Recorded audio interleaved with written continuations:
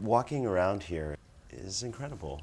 And it was so much part of what Philip and David wanted to cultivate here. They were very aware as they developed this campus uh, of fragments, a kind of single house or single concept splayed out across a landscape.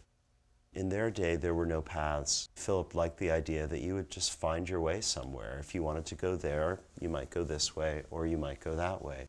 Essentially, the Glass House began as a weekend retreat, but a kind of uh, publicity move, a kind of PR gesture, because Philip is going to beat Mies van der Rohe, his hero, to the punch by constructing the world's first house or pavilion faced entirely in plate glass.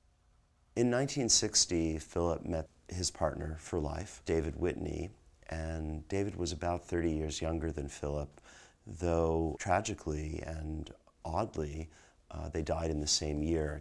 And so the Glass House became their project. As a result, we have some place, we have a landscape, a collection of buildings, a collection of art, but really all of that adds up to a place.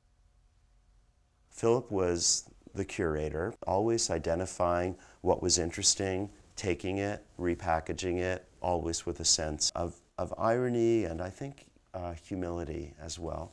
David was the collector, and David's way of learning was encyclopedic, and the idea was always to master something.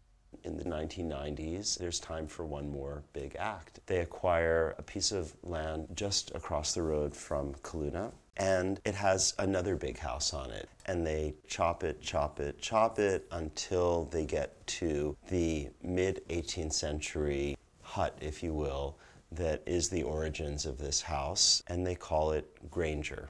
And then what do they do? They paint the exterior black. And so you have to wonder what they were doing. Part of me thinks that they were advancing in age, and this had something to do with death. And I think for me, the experience of being director here and certainly living on the property and living in David Whitney's house is an experience of getting to know ghosts. It's, I don't know, almost a forensic process of trying to understand something that I probably never will, and at the same time, an emotional one of, of feeling at times haunted and at times very inspired by who these men were and what they did here.